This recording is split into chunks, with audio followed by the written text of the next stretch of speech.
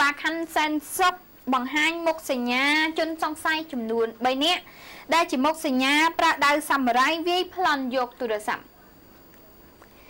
ជនសង្ស័យដែលជាមុខសញ្ញាប្លន់ចំនួន3នាក់ត្រូវបានអធិការដ្ឋាននគរបាលខណ្ឌសែនសុខដឹកនាំដោយលោកម៉ាក់ហុងអធិការនគរបាលបង្ហាញមុខនៅព្រឹកថ្ងៃនេះក្រោយពីខាត់បានការពីយប់រំលងអត្រាថ្ងៃទី18ខែកក្កដាកន្លងទៅ។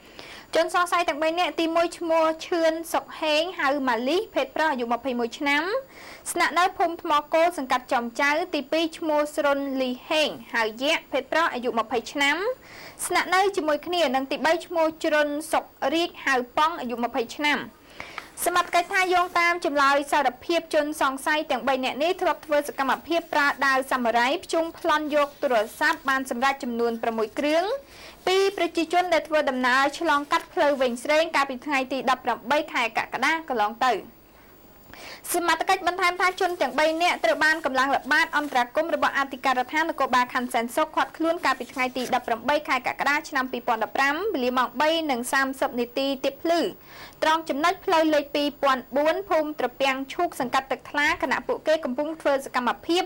ប្លន់វាយកទូរស័ព្ទជាបន្តបន្ទាប់ក្នុងនោះសមត្ថកិច្ចបានដកហូតទូរស័ព្ទដៃចំនួន6គ្រឿងដាវសាមរ៉ៃមួយដើមនៅ រួមជាមួយនឹងម៉ូតូមួយគ្រឿងម៉ាក Wave ពាក់ស្លាកលេខភ្នំពេញ 1FE 5278